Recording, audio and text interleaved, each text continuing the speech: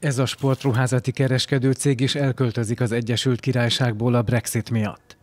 A családi vállalkozás felszámolja Bristoli raktárát és Pozsonyba települ.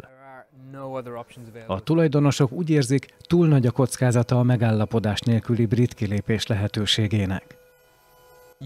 Üzletemberként sosem gondoltam, hogy ilyen drámai gyorsasággal változhatnak a körülmények. Exportcégként nagy raktárkészlettel dolgozunk. Szlovákiában az európai piacon belül maradunk biztosan. Felfoghatatlan, hogy el kell engednünk, amit felépítettünk itt. Ez az egész szürreális. Hozzájuk hasonlóan számos kis- és középvállalkozás már most érzi a Brexit körüli bizonytalanság gazdasági hatásait. A font gyengülése a brit exportőrök bevételeit is befolyásolja, így a Wimbledoni Alchemy kávé pörkölő üzemét. Az egyik cégvezető azt magyarázza, hogy eddig prémium kategóriás termékeik árban versenyképesek voltak Európában, de a megállapodás nélküli Brexit ezt veszélyezteti. Nem tudni, milyen adó és vámtételeket kell majd fizetni, hiszen a kávé importként érkezik az üzembe, a termék exportként távozik az európai piacra.